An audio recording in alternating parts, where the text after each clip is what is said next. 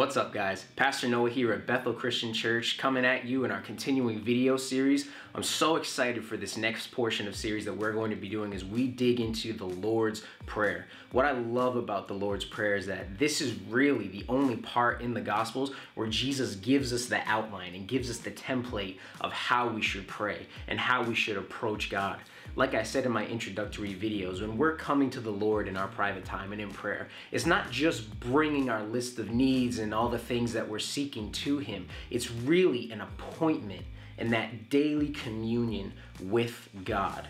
So we're going to dig into the first portion, which is really the praise and the worship portion of the Lord's Prayer. So if we look in the beginning verses, it says, Our Father who is in heaven, may your name be kept holy. A lot of the older translations say, Hallowed be your name. And hallowed means to be kept revered, to be honored and worthy of praise and recognition. And what I love about that is that right off the bat, Jesus kicks it off with praise and worship. He says, When you go to the Father, you greet the Lord and then you worship him.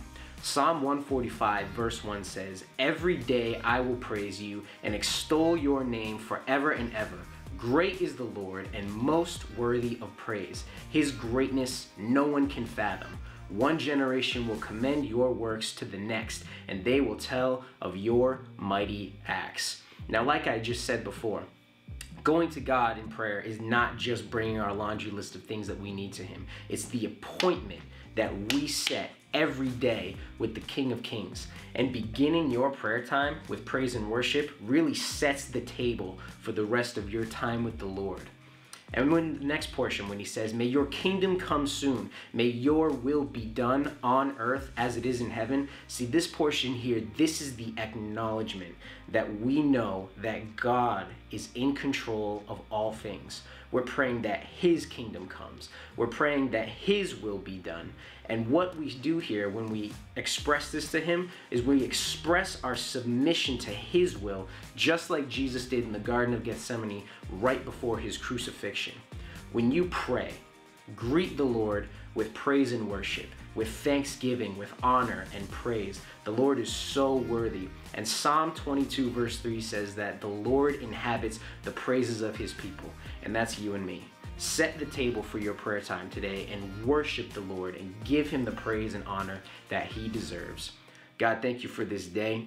Thank you for the opportunities that we get to be together um, through video ministry and through social media.